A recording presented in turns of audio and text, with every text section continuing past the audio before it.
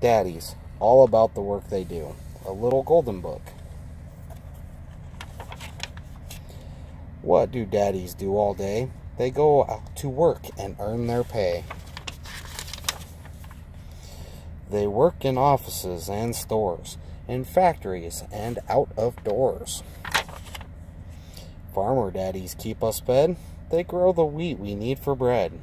Dads build rockets. Others fly or drive the trucks you see roll by. Daddies fix the shoes we wear. Barber daddies cut our hair. Dads are sailors dressed in blue. And daddies are policemen too. Daddies paint and daddies sell. Doctor daddies keep us well.